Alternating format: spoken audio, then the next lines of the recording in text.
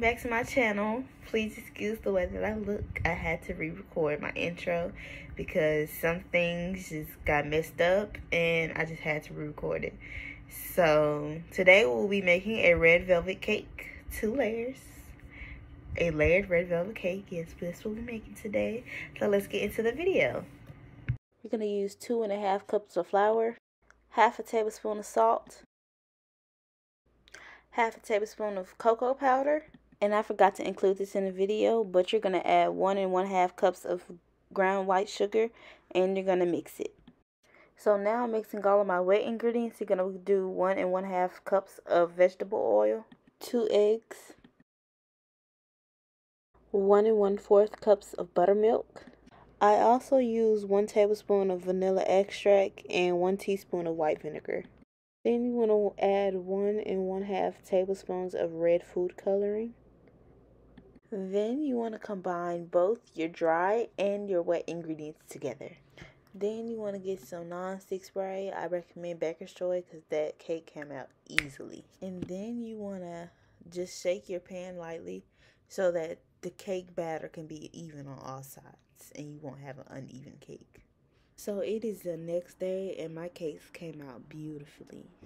So once your cakes come out the oven, you want to place some foil over the pan. That way your cakes can sweat out.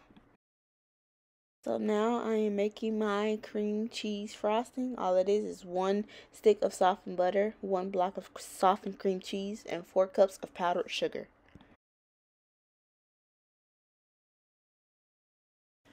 So now I am piping my icing across the edges of the cake. Really not the edges because I barely know how to ice y'all. So don't judge me please.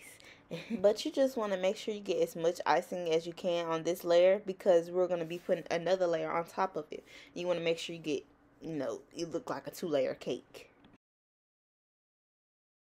Now, I didn't record me placing the other layer on top, but all you have to do is just make sure you're very careful and put your cake on top of it.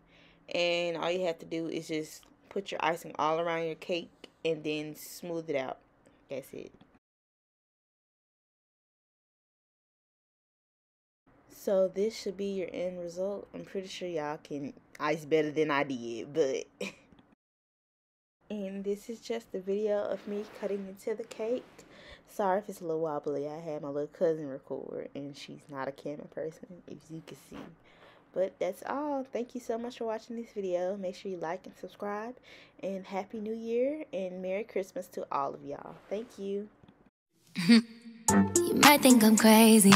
The way I've been craving. If I put it quite plainly, just give me the babies.